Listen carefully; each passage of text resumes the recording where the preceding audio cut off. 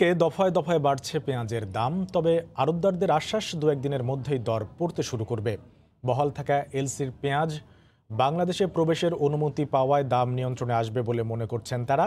পাইকারি পর্যায়ে প্রতি কেজি দেশি পেঁয়াজ এখন বিক্রি হচ্ছে পঁচানব্বই টাকা দরে, আর আমদানি করা ভারতীয় পেঁয়াজের দর পঁয়ষট্টি টাকা। এদিকে দাম আরও বাড়তে পারে এমন আশঙ্কায় কারণ বাজারে হুড়োহুড়ি করে পেঁয়াজ কিনতে দেখা গেছে ক্রেতাদের। যদিও এখন পর্যন্ত সরবরাহে কোনো ঘাটতি নেই বলে নিশ্চিত করেছেন ব্যবসায়ীরা।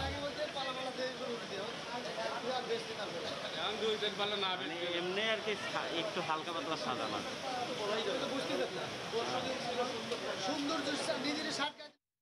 পেঁয়াজের বাজারের সব শেষ খবর জানাতে রাজধানীর কারণ বাজারে আছেন রিপোর্টার জুবাইর ফয়সাল চট্টগ্রামের খাতুনগঞ্জে আছেন শফিকুল আলম এবং হিলি স্থলবন্দরে আছেন সহকর্মী শফিকুল ইসলাম। শফিক সরাসরি চলে যাব তাদের কাছে। প্রথমেই যাচ্ছি জুবাইরের কাছে। জুবাইর। সবুজ পেঁয়াজের বাজারে যে অস্থিরতা বা হঠাৎ করেই দাম বেড়ে যাওয়ার প্রবণতা, সেটি কিন্তু আমরা লক্ষ্য করছি। আজকেও বহাল রয়েছে। যদিও কালকে এবং আজকের তুলনায় দামের ফারাকটা যেটি, সেটি কিন্তু খুব একটা বেশি না। পাঁচ টাকা কোনো কোনো ক্ষেত্রে আড়তদাররা দাবি করছেন যে আসলে গতকালকের চেয়ে আজকে দাম বাড়েনি। এবং আমরা আরও একটি আশ্বাস রাজধানীর কারওয়ান বাজার পাইকারি পর্যায় থেকে পেয়েছি। সেটি হলো যে আগামীকাল প- পরশু কিংবা তার পরদিন বা এই দুই তিন দিনের মধ্যেই পেঁয়াজের দাম কিছুটা নিয়ন্ত্রণে আসবে বা কমতে শুরু করবে। আরও একটি কথা আমরা থেকে, বাজার থেকে জানতে পারছি বা এই তথ্যগুলো পাচ্ছি, সেটি হলো যে ভারত যে এলসি বন্ধ করে দিয়েছিল, সেখানে ব্যবসায়ীদের একটি দাবি, সেটি হলো যে তারা তারা বলছে যে দাম বৃদ্ধি করার জন্য বা বাড়তি দামে এলসি যে যে দামে এলসি খোলা হয়েছে, তার চেয়ে বাড়তি দামে পেঁয়াজ বাংলাদেশে বিক্রির জন্য ভারত একটা বন্ধের এরকম একটি কাজ করেছে এই মুহূর্তে। এরকম একটি দাবিও আমরা শুনতে পাচ্ছি, যদিও এটি অসমর্থিত। এখনও পর্যন্ত এই দাবির সপক্ষে আমরা দুই দেশের পক্ষ থেকে কোনো ধরনের কোনো বক্তব্য পাইনি। যদিও আজকে বিকেলে বাণিজ্য মন্ত্রীর সংবাদ সম্মেলন রয়েছে, সেখান থেকে আমরা কিছু একটা আশা করছি যে হয়তো সরকার পর্যায়ে থেকে এই বিষয়গুলো ভাবা হচ্ছে। আরেকটি বিষয় যেটি সবচেয়ে গুরুত্বপূর্ণ, সেটি না বললেই নয়, আপনারা বাজারের যে পরিস্থিতি সেটি খেয়াল করলে দেখবেন যে বাজারে পেঁয়াজ বাড়তি চাহিদা, চাহিদার অনুযায়ী অতিরিক্ত পেঁয়াজ কেনার একটা প্রবণতা আমরা লক্ষ্য করছি ক্রেতাদের মধ্যে।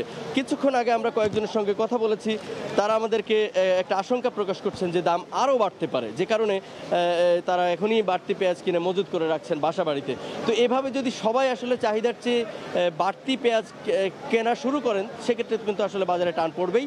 যদিও অ্যাজ অফ নয় এই মুহূর্তে কিন্তু আমরা বাজারে পেঁয়াজ সরবরাহে কোনো সংকট বা ঘাটতি দেখতে পাচ্ছি না। এবং ব্যবসায়ীদের পক্ষ থেকেও আমাদেরকে আশ্বস্ত করা হয়েছে যে বাজারে এক- একটা নির্দিষ্ট সময় অনুযায়ী বা প্রতি মাসে যে পরিমাণ পেঁয়াজের চাহিদা হয়, সেই চাহিদা অনুযায়ী বাজারে কিন্তু পেঁয়াজের সরবরাহ রয়েছে।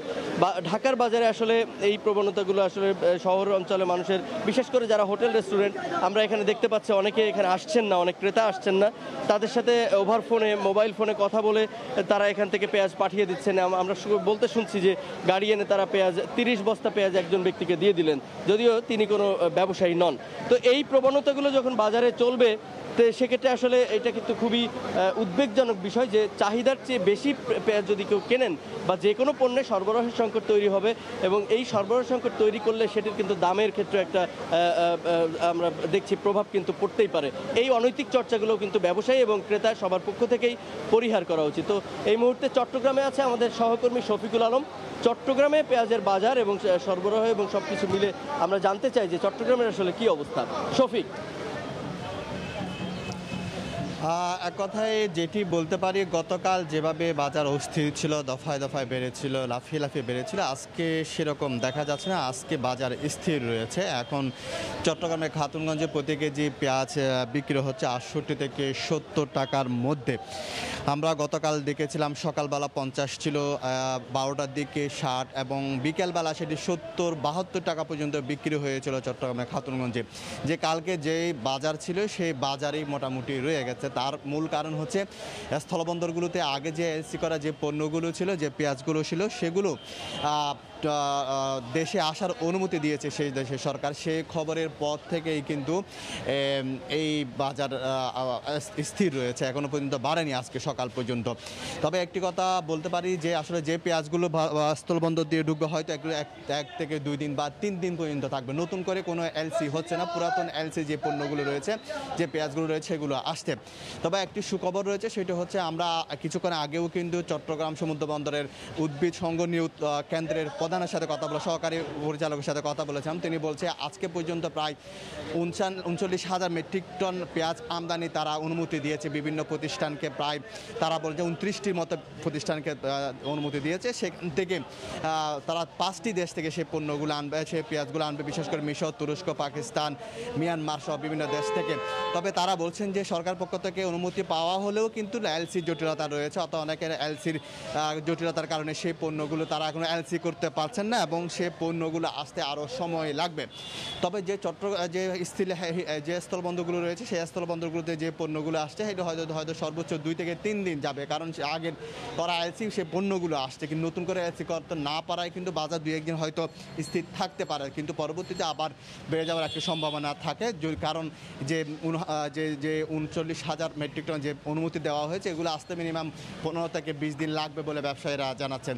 তো এই ছিল আমার কাছে চট্টগ্রামের পেঁয়াজের বাজারের সর্বশেষ তথ্য খাতুনগঞ্জ থেকে। শফিক ধন্যবাদ শফিক। আমরা গতকালকেই জেনেছিলাম আমদানিকারকদের মাধ্যমে যে ভারত সরকার বা তাদের কেন্দ্রীয় থেকে কিন্তু অনুমোদন পেয়েছে। সেটা হচ্ছে যে এলসির পর যে টেন্ডার করা হয়, যে টেন্ডারগুলি হওয়ার পরও যে ভারত যে গত সোমবার পেঁয়াজ রপ্তানি বন্ধ করে দিয়েছে, ঠিক ওই পণ্যগুলি কিন্তু ভারত নাকি অনুমোদন দিয়েছে। সেটা আজকে আমদানি হবে এরকমটা আমরা জেনেছি, সকাল থেকে আমরা অবস্থান করছি এবং সকালে ব্যবসায়ীদের সাথে কথা বলেছি কাস্টমদের সাথে কথা বলেছি। এখন একটা বিষয় দাঁড়িয়েছে এরকম যে আমদানি হওয়ার পর যে খালি ট্রাকগুলি ভারতে প্রবেশের পরেই কিন্তু আবার আমদানি শুরু হয়। আসলে সেই অপেক্ষা পর্যন্ত আমাদেরকে থাকতে হবে যে আসলে তখন কি অবস্থায় আসে। তারপরে আমি ভারতীয় ব্যবসায়ীদের সাথে কথা বলেছিলাম। তারা বলছে যে আসলে তারা অনুমোদন মৌখিকভাবে পেলেও তারা এখনও কোনো ডকুমেন্টস কাস্টমসে না আসার কারণেও তারা এখনও এই পর্যন্ত তারা সিদ্ধান্ত নিতে পারছে না আসলে কি হবে। তারপরেও আরেকটা বিষয় আমাদের বাংলাদেশের আমদানিকারক ব্যবসায়ীরা জানিয়েছেন যে তাদের প্রায় দু শতাধিক পণ্যবাহী ট্রাক ভারতের অভ্যন্তরে লোডিং অবস্থা দাঁড়িয়ে আছে। যে পণ্যগুলি যদি আজকালের মধ্যে না ঢুকে, তাহলে বড় ধরনের একটা লোকসানের আশঙ্কা রয়েছে। যে আশঙ্কা গত বছর তারা কিন্তু অনেক আমদানিকারক ক্ষতিগ্রস্ত হয়েছিল, ঠিক এমনটাই তারা আশঙ্কা করছেন। তারাও ব্যবসায়ীরা কিন্তু এখানে তারা খোঁজ খবর রাখছেন। কিছুক্ষণ আগে আমি কাস্টমসের কর্মকর্তার সাথে কথা বলেছিলাম, রাজস্ব কর্মকর্তা। সে ভারতের কাস্টমসের রাজস্ব কর্মকর্তার সাথে কথা বলছেন। তারাও কিন্তু একটা কথাই বলছেন যে, তারাও শুনেছেন লোক মারফত যে এরকম একটা অনুমোদন পেয়েছে, কি পরিমাণ পেয়েছে, কতগুলি ট্রাক বাংলাদেশে তারা এক্সপোর্ট করবে। তারা কিন্তু এখনও তারা এখনও তারা কিন্তু এই পর্যন্ত কোনো কাগজ না পাওয়ার কথা তারা বলতে পারছে না। তো সব মিলে একটা কথা বলা যেতে পারে যে আমাদের আরও কিছু অপেক্ষা করতে হবে। এই খালি ট্রাকগুলি যাওয়ার পর আসলে কি অবস্থা হয়। তো হিলিস্থল বন্দর থেকে ছিল আমার কাছে পেঁয়াজ নিয়ে সর্বশেষ খবর। হিলি থেকে পেঁয়াজের খবর জানাচ্ছিলেন শফিকুল ইসলাম শফিক। তার আগে চট্টগ্রাম থেকে পেঁয়াজের বাজারের খবর জানাতে যোগ দিয়েছিলেন শফিকুল আলম এবং রাজধানীর কারণ বাজার থেকে যোগ দিয়েছিলেন রিপোর্টার জুবাইর ফয়সাল।